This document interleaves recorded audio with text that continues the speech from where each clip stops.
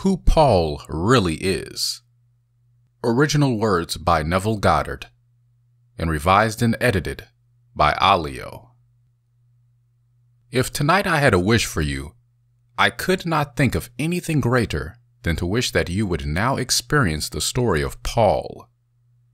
I do not know if you have ever asked yourself, who is Paul? Paul is not mentioned in any non biblical work of the first century outside of the Bible, and yet he wrote so many letters, seemingly from jail, and they have been recorded. Yet there is no record of any Paul being in the jail, and certainly he would be recorded. So, who is Paul? Paul is that last state of consciousness that man must reach if he would experience the reality of God. You and I have ambitions in the world.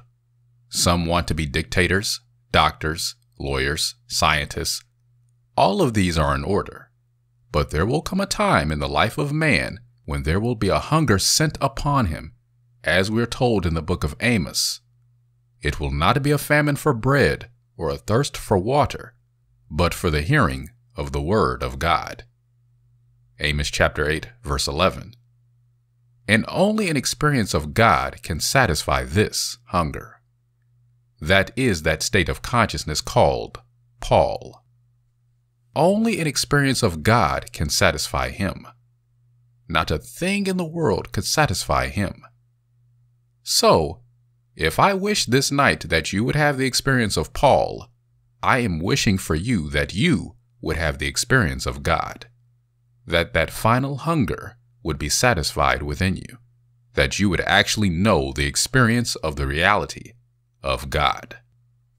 At the very end of the book of Acts, when they tell the story of his end, they said that he expounded the matter to them from morning to evening, testifying to the kingdom of God and trying to convince them about Jesus, both from the law of Moses and from the prophets.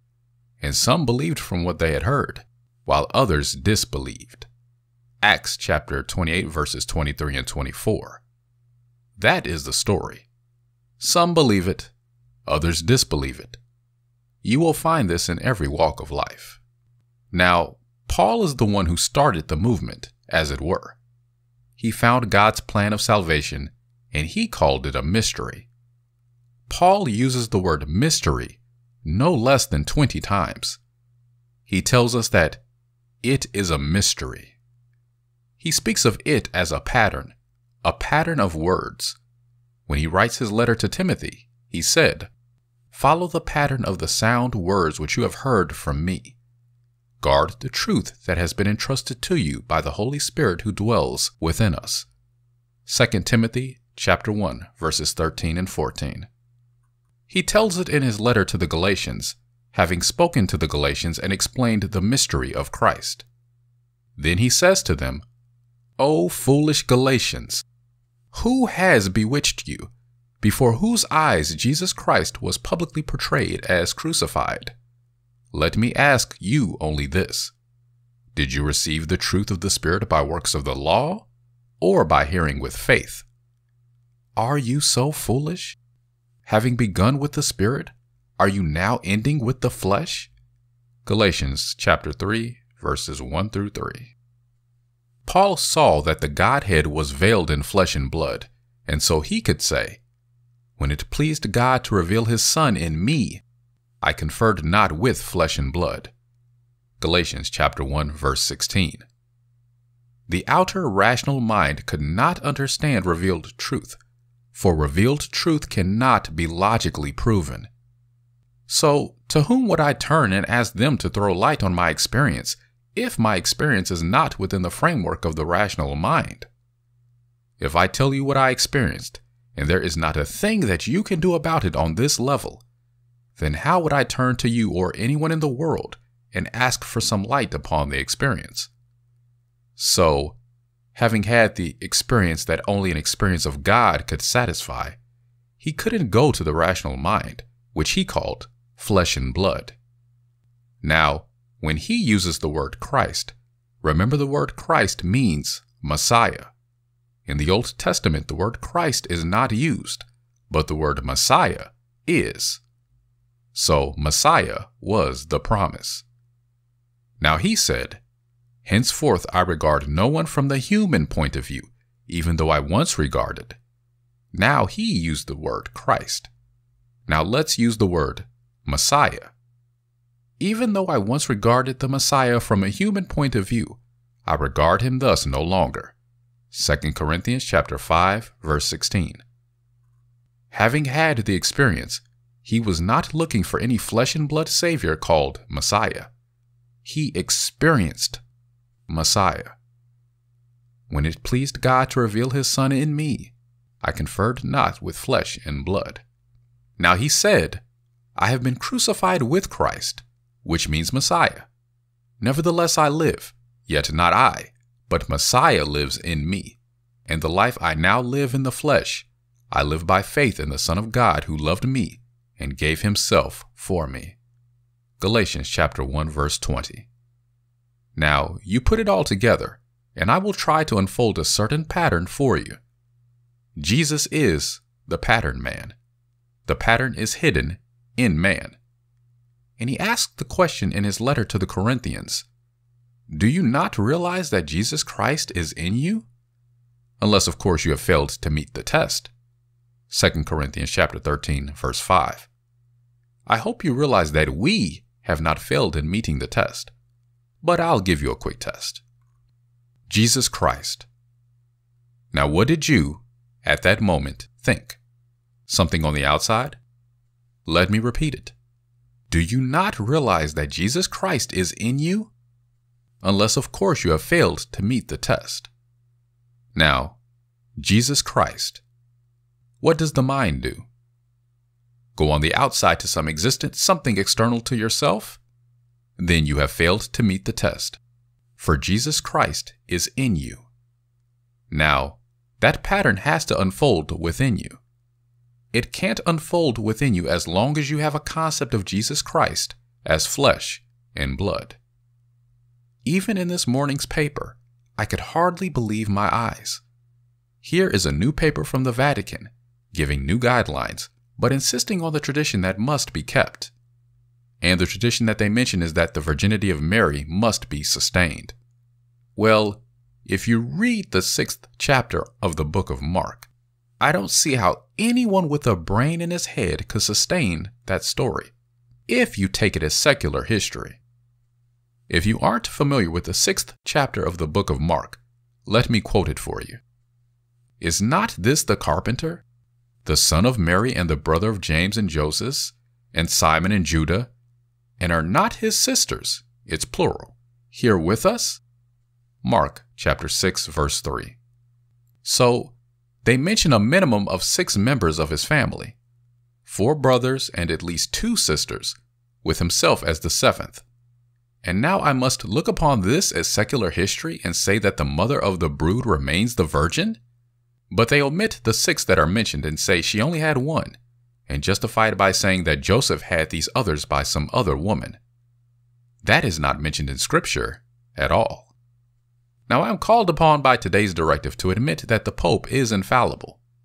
Well, now, that is the height of nonsense. Just complete silly nonsense. I don't care what you have had as a background in religion. That statement is stupid. Religion has not a thing, true religion hasn't a thing to do with secular history. It is salvation history. The whole thing unfolds in you. It's all about you. It takes place within your own wonderful skull. That's where it takes place. The being spoken of as the Lord in the Bible is your own wonderful I am. That's God. Your own wonderful human imagination. That is the Lord. One day, when you get rid of some physical Christ, some physical being external to yourself, you make room for the stirring of this pattern within you and the pattern unfolds within you. Paul said, I refuse to admit anyone but Jesus Christ and him crucified. 1 Corinthians chapter 2 verse 2. You hear the word crucified and you think of some cruel act, don't you? It isn't. let me share with you my experience of the crucifixion. It is sheer bliss. The 42nd chapter of Psalms, or the 42nd Psalm if you prefer, tells a story of remembrance. And these things I remember. Psalm chapter 42, verse 4. And now he recites what he remembers how he went with the throng and led them in procession to a house of God. It was a gay and happy crowd. That night I led them in procession to the house of God. They were all together, I would say, thrilled beyond measure because we are leading to the house of God. A voice rang out as I led them, and the voice said, And God walks with them. A woman at my side, to my right, she answered the voice, and she said, If God walks with us, where is he? And the voice replied, At your side. She turned to her left, looked into my face, and then she said, What? Is Neville God? And the voice replied, Yes, in the act of waking. Then the voice said to me, and to me only, it came from the very depths of my being, I laid myself down within you to sleep, and as I slept, I dreamt a dream. I dreamed, and I knew exactly what he was dreaming. He was dreaming that he is I. I also knew that when he woke from his dream, I am He. The two would cease to be two, and they would become one. He is dreaming my life until He awakens within me. But when He awakens within me, He is not another. He awakes as the being in whom He fell asleep, whose life He is dreaming. That I did know. And then this happened. I felt myself move quickly from this wonderful crowd moving towards the seeming house of God, and then suddenly I am nailed upon this body with these six vortices. My head is a vortex. My two hands are vortices. My right side is a vortex. And my two feet, the soles of my feet, are vortices. And I tell you, it is sheer ecstasy. That's the crucifixion. That is when God crucified himself upon this cross called man of flesh and blood. Well, no one can attain to bliss unless he is generated here on earth. So you and I am here. And God deliberately laid himself down within us to dream our lives, and he's dreaming that he is you. And one day he will awaken, and he is you, and you are God, without loss of identity. I will know you just as I know you now, but you will be raised to the ninth degree of beauty. I can't quite find the words to describe the majesty and the dignity and all that is wonderful concerning you. And yet, I will know you as God. I will know you as Jim, whom I know and love as a friend, and I will still know Jimmy as God. That is the destiny for everyone in this world. So you can forget the historical presentation of Scripture as organized churches keep it and maintain it. Paul made the statement in his famous 13th chapter of 1 Corinthians called Hymn in Praise of Love, the Hymn of Love. He said, When I was a child, I thought like a child, I spoke like a child, I reasoned like a child. But when I became a man, I gave up childish ways. 1 Corinthians chapter 13, verse 11. When you mature spiritually, you give up these childish ways that insist on the historical presentation of Jesus and the secular history of the Bible. And that pattern will unfold when that child becomes a man. He stops accepting the flesh and blood Jesus and sees him for what he is. It's a pattern that unfolds within a man as the man within unfolds. And it begins with the resurrection. The crucifixion is over for all of us. Everyone has been crucified with Christ on these garments called the cross. The day will come, and it starts with the resurrection. You will rise within yourself, followed instantly by your birth from above. For no man can enter that state called the kingdom of God unless he is born from above. So, he spent his days from morning to evening testifying to the kingdom of God and trying to convince them about Jesus. Then he used as his arguments the law of Moses, reading scripture for them, and then the prophets and the Psalms, trying to show these passages paralleled his own experience. What passage would parallel his experience when it pleased God to reveal his Son in me? And the preposition is in. It's not to me, as some translators give it. When it pleased God to reveal his Son in me, Galatians chapter 1 verse 16. That's where he is revealed. Suddenly within you the Son appears, and the Son is just as told you in the scripture, the second psalm. And I will tell of the decree of the Lord. He said unto me, Thou art my Son. Today I have begotten thee. Psalm chapter 2, verse 7. Whose words are these?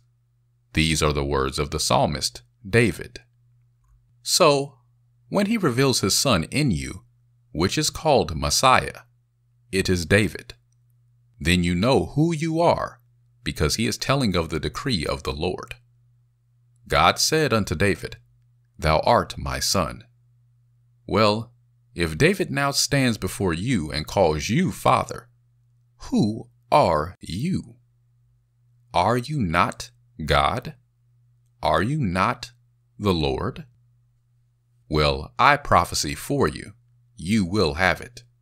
You will have that experience where David stands before you and calls you Father.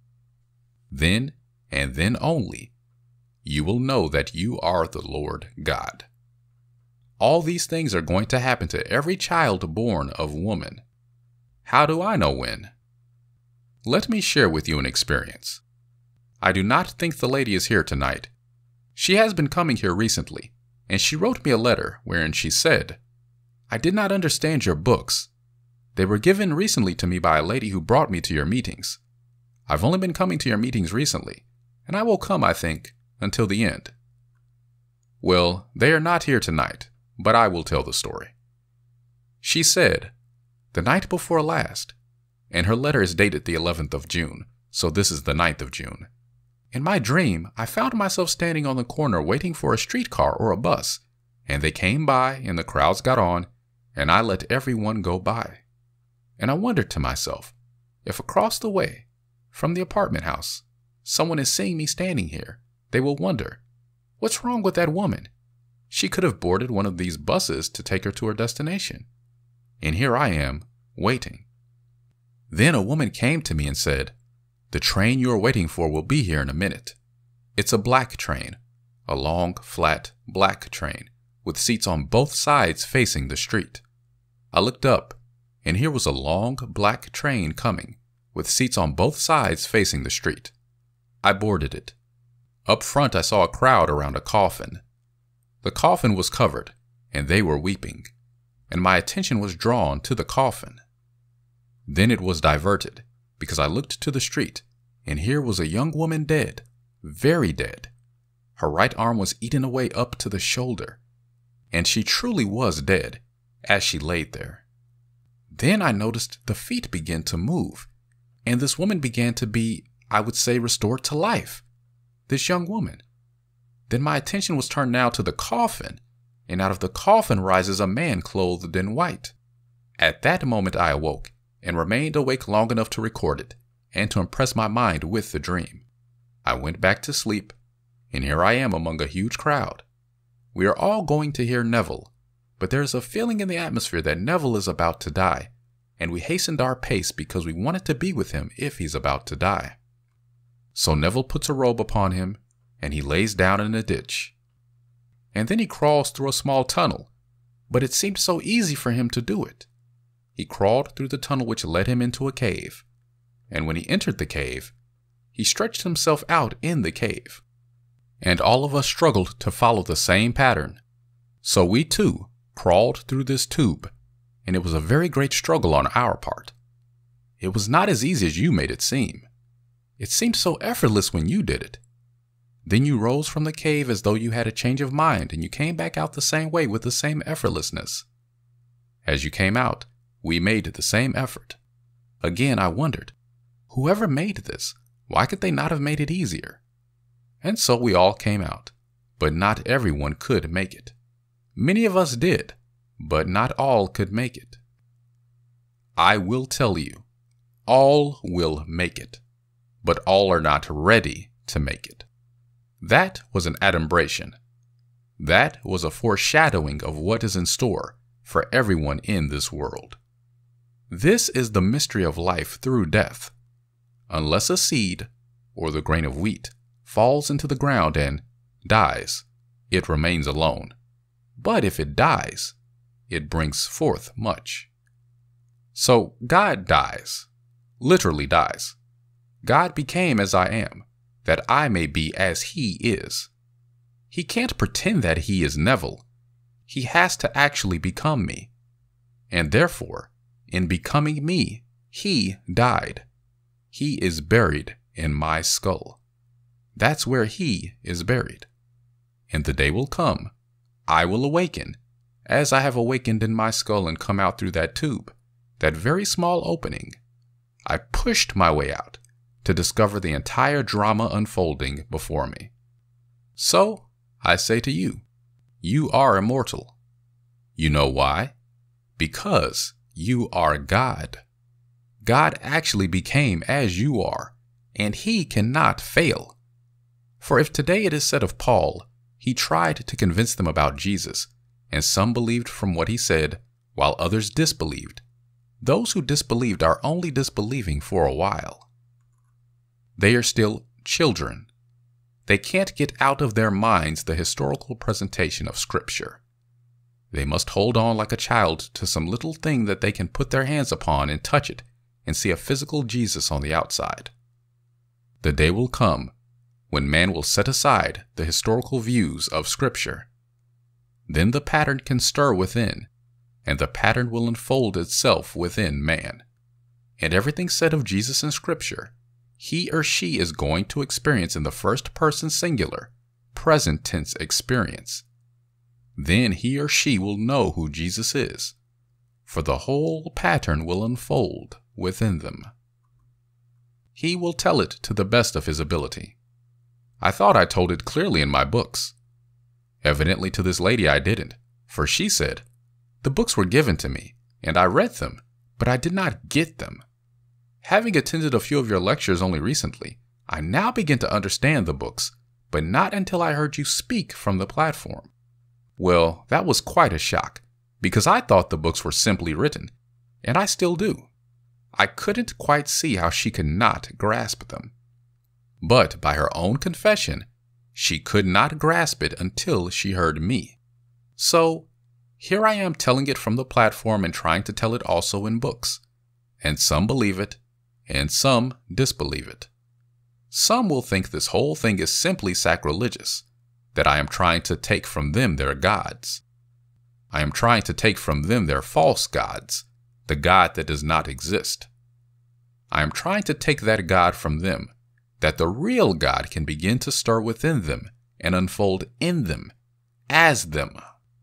Because until the false God disappears, the real God cannot awaken within you.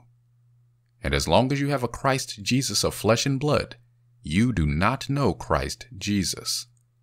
Listen to the words again. Henceforth I regard no one from the human point of view. Even though I once regarded Christ from the human point of view, I regard him thus no longer. These are the words of Paul. 2 Corinthians chapter 5 verse 16. I am crucified with Christ, said he. Nevertheless I live, Yet not I, Christ lives in me. And the life that I now live in the flesh, I live by the faith of the Son of God, who loved me and gave himself for me. Galatians chapter 2 verse 20. Well, I am telling you, your real being is Jesus. That's the Lord. Your real son is David. That's the Messiah. But you do not know that you are the Lord, and cannot know it until your Son appears. The day will come, he will appear. And the minute he appears, you will know exactly who he is. There will be no uncertainty as to this relationship between you, the Father, and David, the Son. It takes the Son to reveal the Father. Now, no church in this land that I know of is teaching this, so I have been sent to tell it to you. And you are here a small audience, but what does it matter? A small audience started on the truth can spread to the whole vast world. I am telling you what I know from experience. I am not theorizing. I am not speculating. You are the Lord suffering from amnesia because you have forgotten who you are. That's how complete your gift was when you became man. And the day will come. You will awaken and remember who you are. And because you are God the Father, there must be a Son to bear witness to your fatherhood. And that Son is David. Then you will know who you are. Then, one by one, we will reunite into the one being who is God the Father, without loss of our individuality, without the loss of the being that we are. I will know you in eternity, but know you as God. Now, here we only have two lectures left, and these will be in order, even though they seem repetitious. They cannot be repeated too often. Man so quickly forgets. You go away for a month, and those you thought really understood you when you return, they try to tell you, I just found the most wonderful book on diets, or the most wonderful book on how to get into heaven in another way. A friend of mine, I thought he understood it. I thought he did, for he made extravagant claims, and in the last month he sent me books by men that I knew before they died here. We mustn't judge from appearances, I know. But as I told him over the phone when I sent the books back, I had the dubious pleasure of knowing these men. The book that you just sent me, that man is incapable of writing a decent sentence. I knew him when he sold stocks that did not exist, and there is no transforming power in death. He is still selling stocks that do not exist. And you ask me to read this book? I would entrust him as far as I could throw him. I am not an exceptionally strong man today, and he weighed, when he died, over 200 pounds. So you can see how far I would trust him. And I thought that man really understood what I'm talking about. I'd believed that he did.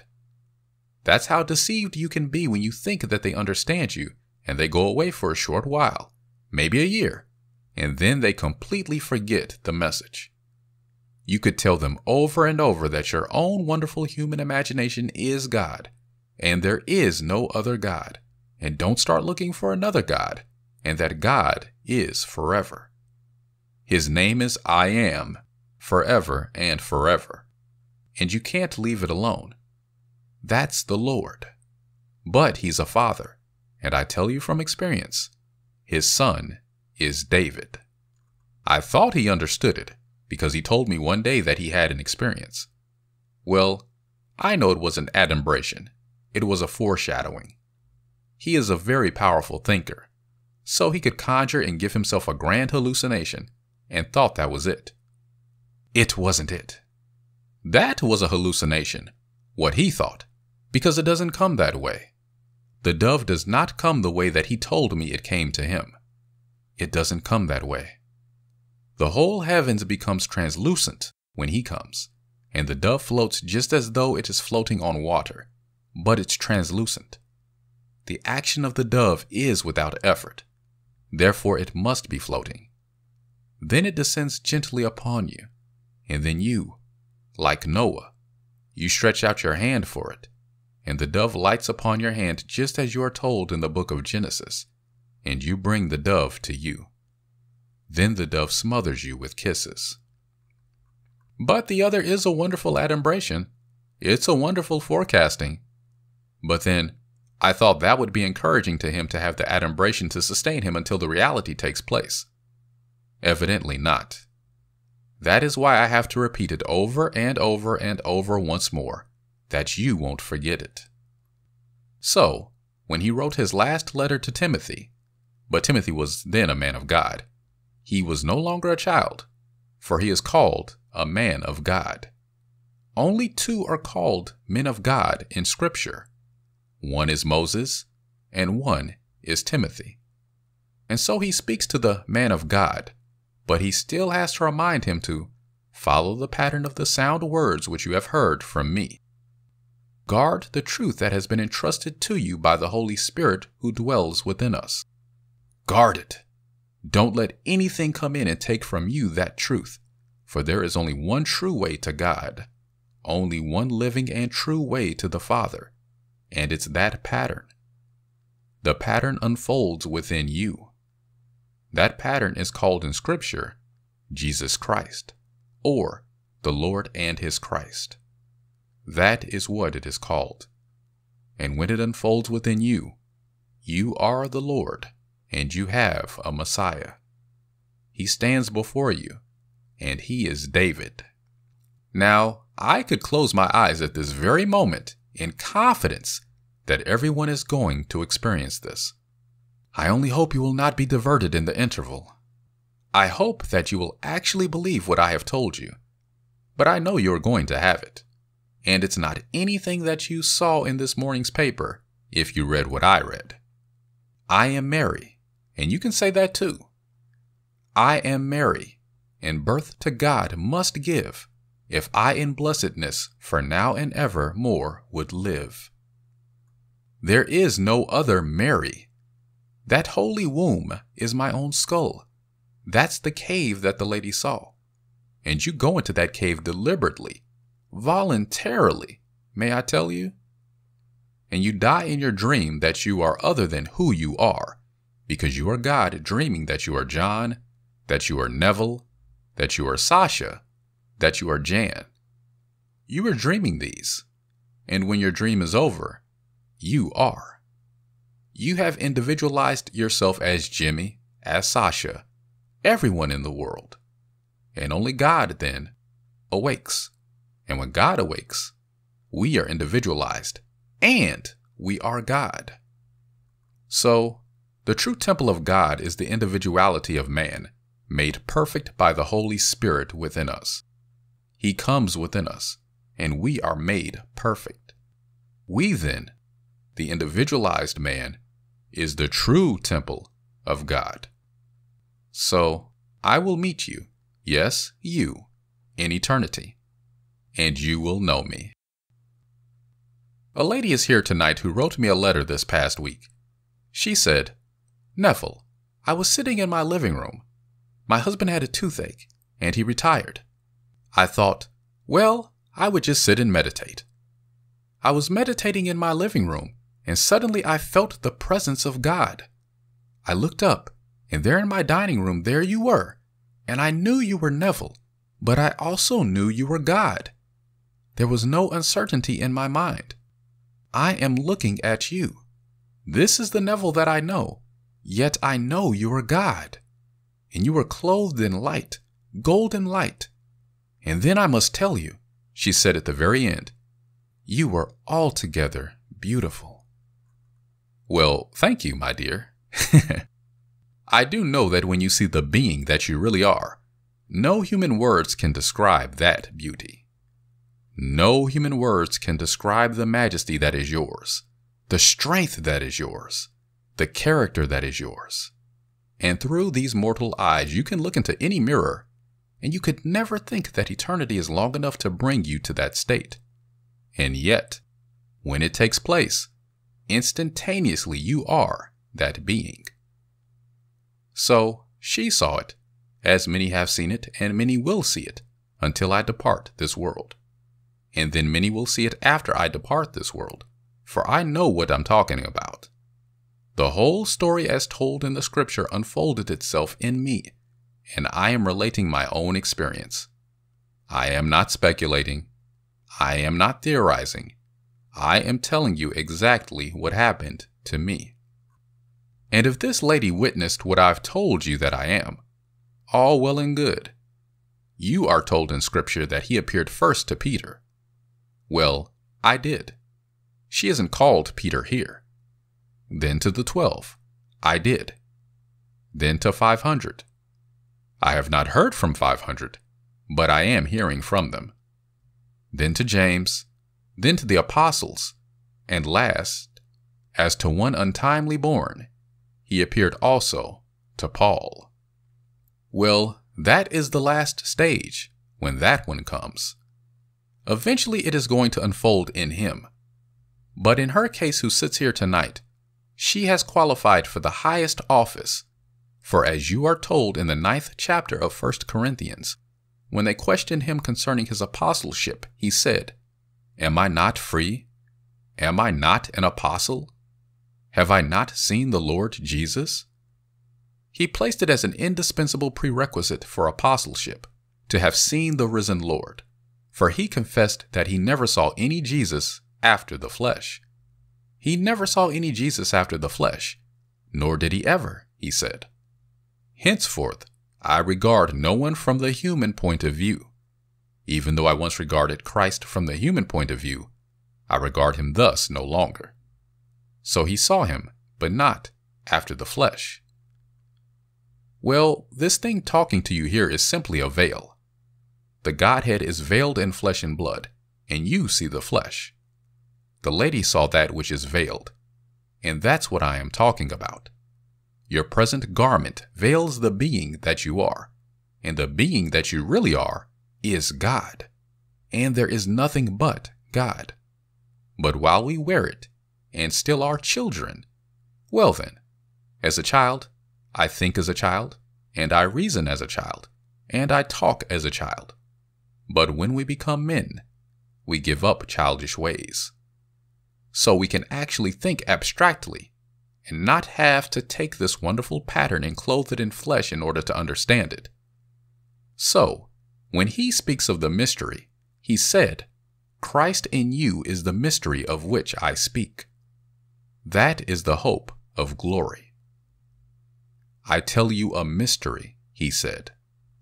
And 20 times he uses the word mystery. And the churches speak of Paul's martyrdom. The Bible, you can scour the Bible from beginning to end, and you will not find one word in Scripture concerning any martyrdom of Paul. Yet the churches teach that he was martyred, that maybe he was fed to the lions by Nero. It hasn't a thing to do with that. The word martyr and the word witness are one and the same in Scripture. So, he is a witness to the truth. But now, because the word witness was translated as martyr, they say he was a martyr. The word is martyr, but the translation, the meaning of the word, is witness. He said, I have come to bear witness to the truth, when he stands before the judge and declares that his kingdom is not of this world. For this I was born, for this I have come into the world. For what purpose? To bear witness to the truth. That word translated as witness is the same word as martyr. I have come to bear witness to the truth. And they claim he was murdered? No. I tell you what I have told you earlier tonight. I have experienced crucifixion, as Paul said he did, and it is ecstasy sheer ecstasy. Six vortices, whirling vortices, a vortex, a vortex, a vortex, a vortex, and then the two feet of vortices. And I can't tell you the thrill when you are drawn into this body through these six vortices. And then the voice rings out. I laid myself down within you to sleep. And as I slept, I dreamt a dream. I dreamt, yes, I knew exactly what he is dreaming. He is dreaming that he is I, and when he awakens, I am he. The two shall become one. For here was his emanation, yet his wife, till the sleep of death is past. And when that sleep of death is over and he awakes, he awakes in me as the being in whom he fell asleep, and I am he. Because he was a father when he laid himself down within me, when he wakes, he is still a father. Therefore, I am a father. So, he became me, and therefore that son that was his son is now my son. And his son is David, and David calls me father. That is the mystery. You dwell upon it. You will be tempted to go astray and follow after strange gods but stick to it. I have told you what I know, And so, if you are tempted, come back to it. As often as you are led astray, come back to it. Try to remember what I have told you, but don't turn away. I plead with you because I am telling you what is in store for you. Joy beyond measure. For we are all destined to enter that kingdom called the kingdom of God.